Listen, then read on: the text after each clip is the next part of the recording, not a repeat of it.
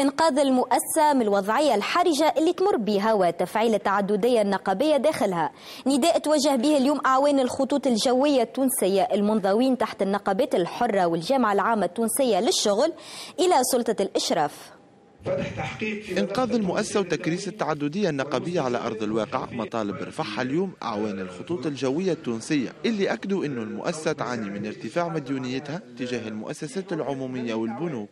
إحنا داعين الناس الكل كافة أعوان الخطوط التونسية إطارات كانوا طيارين آه بأي لون كان عندهم النقابي باش يجيوا اليوم يشاركوا ويحاولوا يقدموا حلول عملية كيفاش ننهضوا بالشركة هذه اللي هي راهي خبزتنا وخبزة اولادنا اليوم والغدوة والبعد غدوة. يلزم اليوم التعدديه النقابيه النقابات الكل تخدم في مصلحة الشركة في مصلحة العون. مطالب الأعوان اختلفت حسب اختلاف اختصاصاتهم لكن الهدف اللي يجمعهم هو استمرارية المؤسسة وتحسين خدماتها أمام المنافسة العالمية. عدم وضوح الرؤيه نتاع الشركة خلانا ينعكس هذا على خدماتنا في الطائرة وحتى المسافرين بعد ساعات يلاحظوه وكل شيء. إحنا في الوقت الحالي مطالبنا مطالبنا الشخصية دزيناها التالي دزيناها التالي. إحنا نحبوا شركتنا تقدم. مطالبنا توا.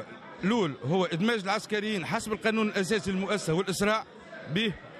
الثاني هو هيكلة الخطوط الفنية التونسية.